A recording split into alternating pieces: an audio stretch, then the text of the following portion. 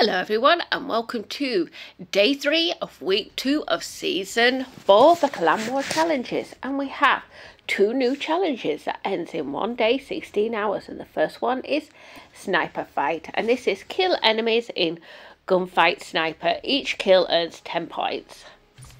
And the other one is combined. And this is kill enemies in combined. Each kill earns 20 points and then we still have the one from the other day, which is always win. And this is enter the top three in battle, sorry, battle royale, blackout, or battle royale isolated.